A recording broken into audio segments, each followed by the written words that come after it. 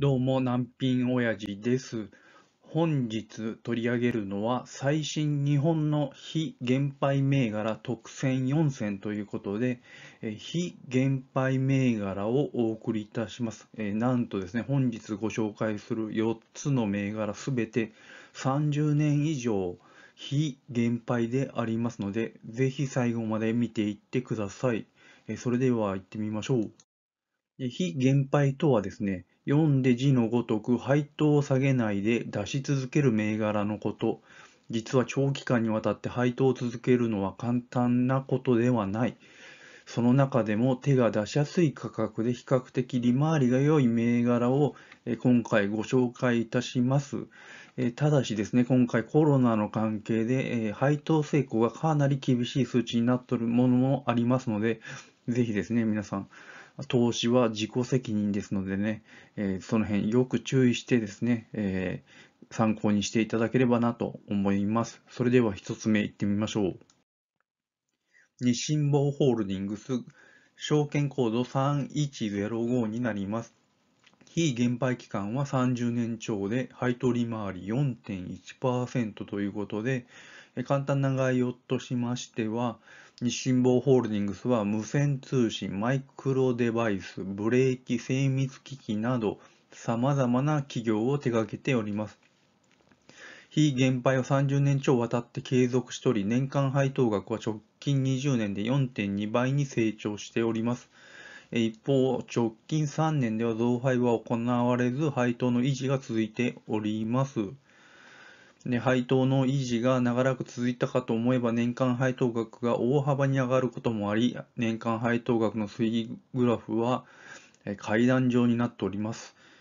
このようにですね15円から倍になっておるんですけども30円が最近では続いております。2020年12月期の年間配当額は前期と同額の30円の予想で30年超にわたる非減配は今期も継続される見込みということで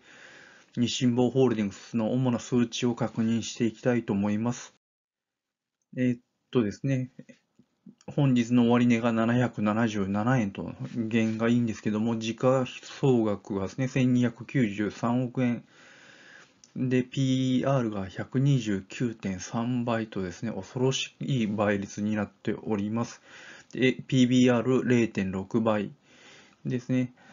自己資本比率が38.3%ということで、配当利回りが3.9%ということで、配当成功ですね、今回赤字なのでマイナス75.6%なんですけども、配当を出すって言っているところがですね、えー、素晴らしいなということで、何が何でも出し続けるというところが、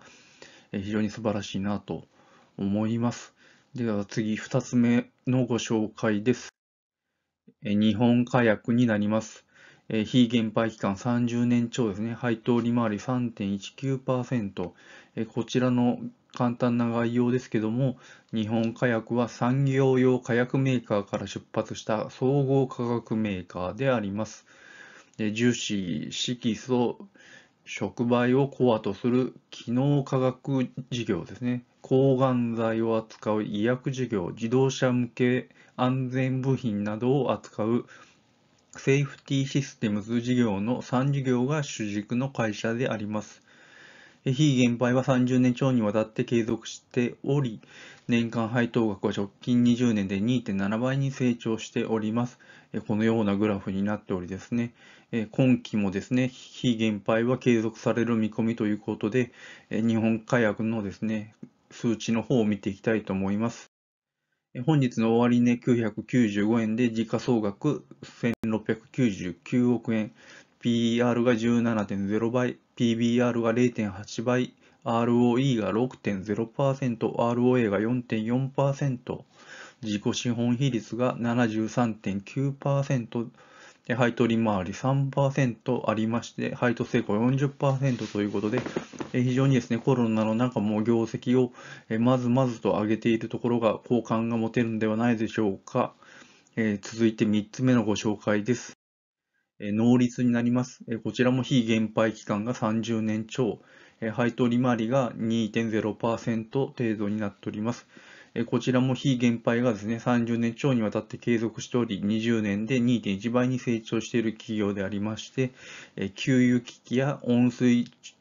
暖房機器など製造販売する会社であります。えー、っとですね、非減配は今期も継続される見込みで、能率のですね、株価などの数値を見ていきたいと思います。本日の終値が1540円、時価総額は704億円。ですね、PBR が0.7倍、ROE が1.5%、ROA が0.9%、自己資本比率57.2%、配当利回り2.1%ということで、配当成功99.5%と非常に高い数値になっておりですね、まあ、営業純利益ですね、純利益の方が今期ですね、マイナスということで、配当成功はこのような数値になっておりますが、今回ですね、えー、再次回のですね、決算を見てから買っても遅くはないかなと思います。で続いて4つ目の銘柄のご紹介です。マックスになります。証券コードが6454。こちらも非減配期間が30年超になります。マックスの会社の概要ですけども、ホッチキスやオートステープラ、オートステープラなどの文具、オフィス機器、鉄筋結束機などを製造、販売する会社であります。ホッチキスの国内シェアは7割を超え、オートステープラでいいんですかね、オートステープラの世界シェアは9割を誇るということで、非減配は30年超を継続しており、年間配当額は直近20年で2.0倍に成長しております。それで今期もですね、非減配は今期も継続される見込みということで、こちらはですね、綺麗な右肩上がりで、この辺ちょっと停滞しておりますが、徐々に上がってきております。で、マックスの数値の方を見ていきたいと思います。マックスですけども、今週、本日ですね、本日の終値が1441円。時価総額が705億円、PER が16.8倍、PBR が0.9倍、ROE が7.2%、ROA が5.6%、自己資本比率が77.6%、配当利回り3.2%で、配当成功40%ということで、今回お届けした4つの中では一番私はおすすめであります。100株買いますと14万円で配当利回り3.2%の非減配株が買えるということで、配当利回りもですね3.2%と非常に高い数値でありますし、業績の方もですね、コロナの影響もありましたが、えなんとか、え黒字で維持しておりますしですね、まあ、ここからまたまた、え回復するのではないかなと予想しております。本日のまとめとなります。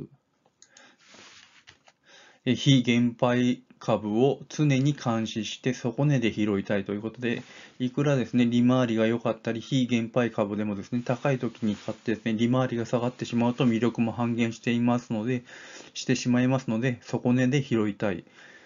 であとは放置で安心の配当を狙うということで、え長期保有で